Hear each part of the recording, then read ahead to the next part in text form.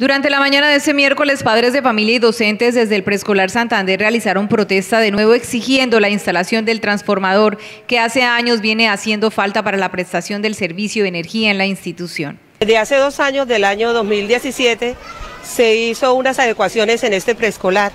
Dentro de ellas estaba incluido pues, el, encerrar los salones ya que eh, nos dieron los aires acondicionados.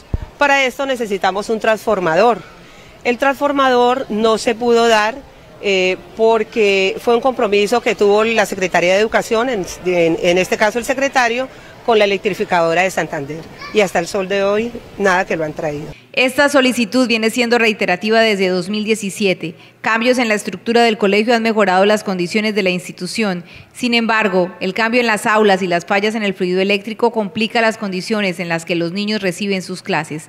Aseguran que en horas de la tarde normalmente la institución se queda sin el servicio de energía y los niños y docentes soportan altas temperaturas el, para que se diera inicio al año escolar del 2018, 17, perdón, eh, se tomó una medida, la verdad que fue el tomar los salones, la luz por un poste que tenemos allá afuera, no de un, no de un no de un transformador ni nada, sino de un poste. Esa autorización fue directamente de la Secretaría de Educación, de la persona que estaba a cargo, como era el ingeniero, y él nos comentaba que fue directamente del secretario. Política estamos pasando por una situación muy difícil, ya que en horas de la tarde y algunas veces en la mañana se nos está yendo el fluido eléctrico. Eso debido a la recarga que tenemos de los vecinos con estos climas tan difíciles, pues se recarga.